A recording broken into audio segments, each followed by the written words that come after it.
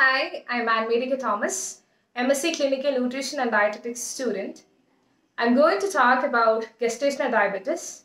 Gestational diabetes is one of the most common complications of pregnancy nowadays. It is defined as altered blood sugar levels during pregnancy and they usually correct itself after delivery. Generally, the high risk patients are those who had GDM or gestational diabetes in previous pregnancies, elderly pregnant women, PCOS, obese, and people with strong family history of diabetes.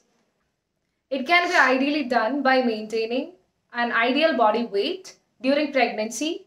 The fine tuning of diet and exercise is required in order to prevent gestational diabetes.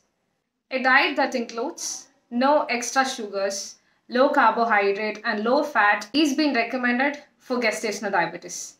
A diet that is high in fiber also helps in improving gestational diabetes conditions. That's all about gestational diabetes. Thank you.